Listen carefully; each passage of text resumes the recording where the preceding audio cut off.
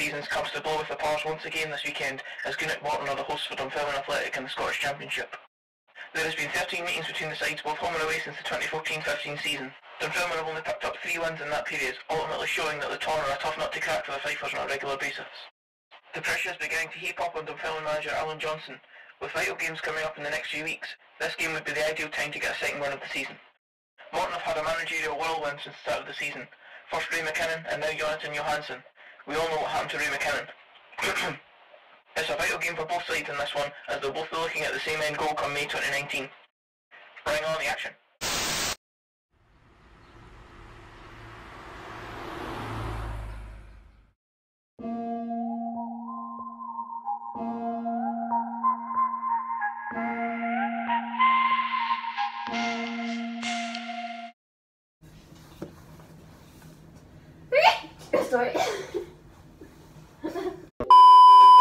Another game day, another hotel room. Living the life of Riley. Ah, just checking. Cheers. Just to put it on record, we've got the lucky charm yesterday. She's never been to a Dunfermline game where we've lost. So, on the pars. And one train later, we're here.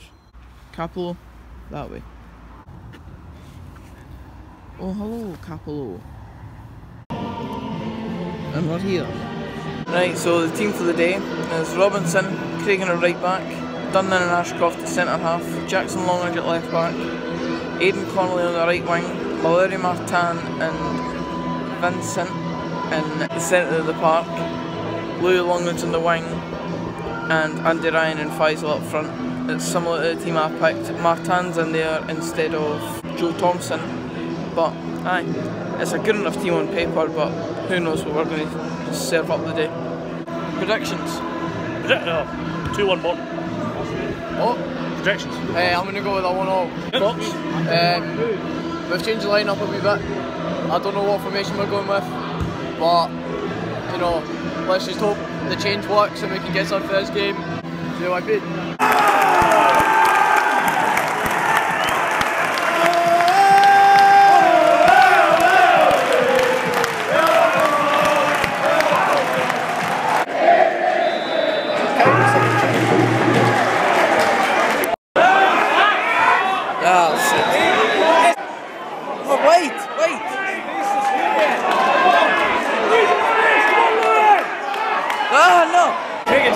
Go on, over white. Go on. Go on.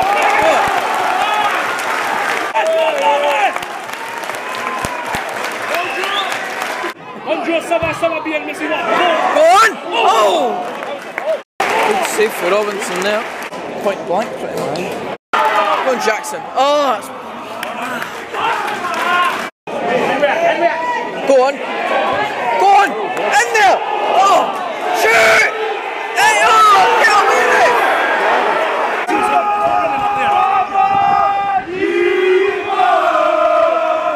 Breathe in!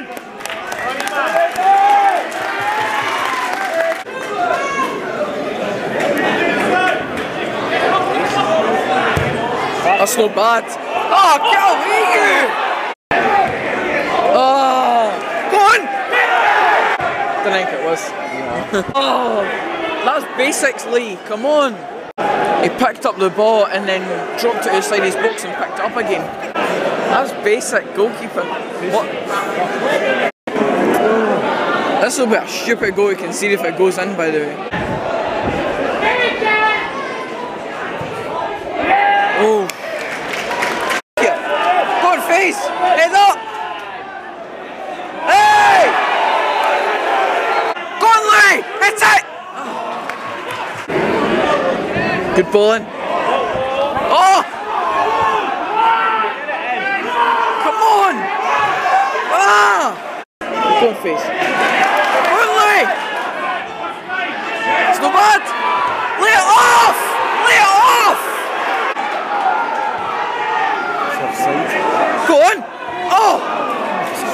Closet went through.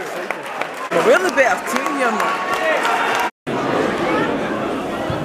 Yeah! Come on! Hey!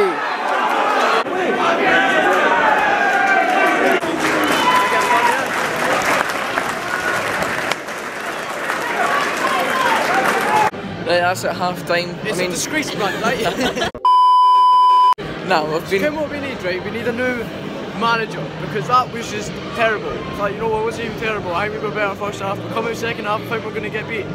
enough for you, right? It's been alright. Like we have had more chances than last week, but we're just not putting any of them away like usual. But um, as I said, we've played, we've played better than last week. Bring on the second half. Oh yeah, see what I mean?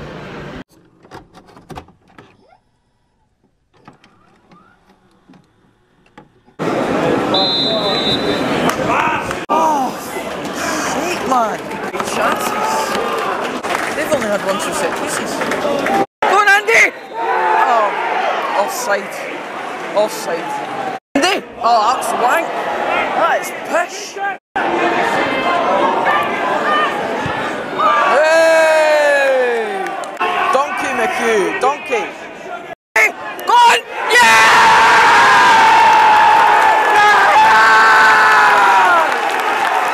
Goal!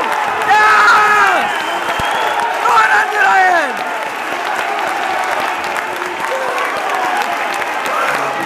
Lucky chance. Come on, lads, go on! Go on, Andy! Go on, Andy! Oh! Oh, Robinson! Robinson, man! Holy Christ! Oh, flies out! He's so frustrating now, man. Hmm, I can't believe we've drawn that.